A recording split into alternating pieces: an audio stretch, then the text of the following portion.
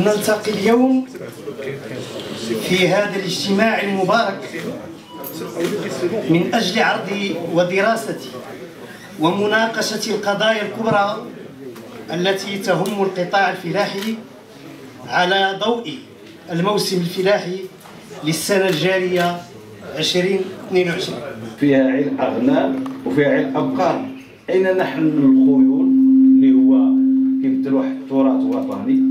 البغال كذلك واش هادو غنستثنيوهم راه ما يمكنش سيدي رئيس هاد المسألة اللي تكلمنا عليها ديال ديال الاسترزاق ديال على على المآسي ديال ديال الفلاح.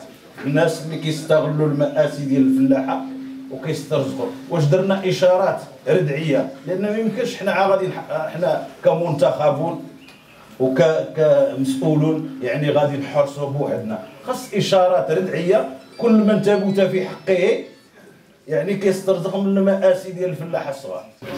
ما كيقصد بها والو ولكن حنا راه كتستفزنا وكتقيسنا وهنا غنوليو نشن... يولي واحد التشنج في العلاقات مع. فيما يخص التوزيع.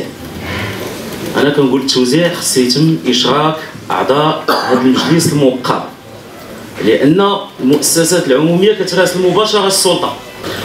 مجموعة ديال المبادرات اللي طلقات الرجال تنهضر على الاعوان يعني المقدمين والشيوخ. اللي عطاه ولا داك الفلاح الكبير كيسجلو كينوطيه باش يستافد. هادشي وقع في الرميل وقع في مجموعة الأمور. ولهذا أنا اليوم كنتكلم على الفلاح الصغير.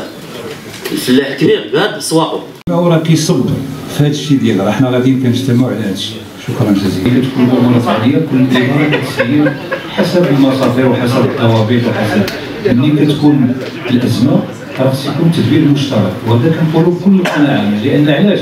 لأن ملي كنديروا تدبير مشترك هاد الحزازات وهذا الشيء كله الحمد لله وهذا مع طبيعي. وتبعا للتوجيهات الملكيه الثانية فان مديريه البيئه والفلاحه لجهات الرباط ستعمل على تنزيل محكم وتنزيل في أقرب وقت ممكن باش الفلاحة والكسابه يستفدوا كاملين من البرنامج اللي تقسيمنا الرئيسي شكرا جزيلا.